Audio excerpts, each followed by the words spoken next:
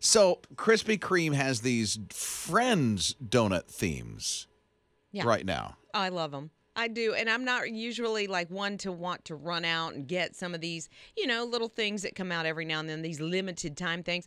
These are so cute.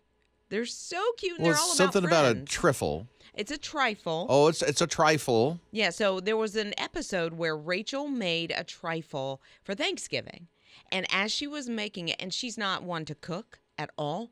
And so as she's making it, the pages get stuck together or something. So she ends up putting like uh, ladyfingers jam, custard, raspberries. All in a trifle. Oh no, that uh, that goes into a trifle. Oh, it does. Yes. Okay. But then when the pages get stuck, she puts in sauteed beef, peas, and onions. Oh, nice. And then more custard, raspberries, and whipped cream. that sounds like a wonderful donut. Well, Joey's the only one that was able to choke it down, and he actually liked Well, it. so- good for him. So they make a trifle donut. So there's a the theme. There's one that looks like the mirror, I guess. No, it's the um, peephole in Monica's Oh, apartment. so it's around the donut hole. and I get so it. They put the frame. and then the it. how you doing Yeah, I, thing that Joey does. I kind of don't get the how you doing one, but you know, it is iconic. So here's the thing: Krispy Kreme, Friends. It's a show made in America.